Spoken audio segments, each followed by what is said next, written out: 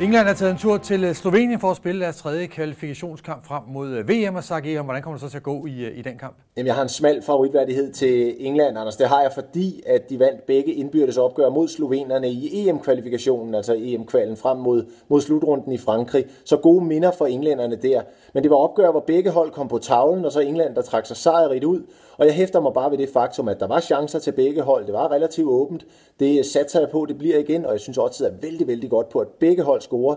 Øh, så det, øh, det, det går mit spil på mål til begge mandskaber. Så skal du have sagt, altså Slovenien mod England. Husk, der er flere spiltip fra alle os her i Unibet-studiet inde på unibet.dk.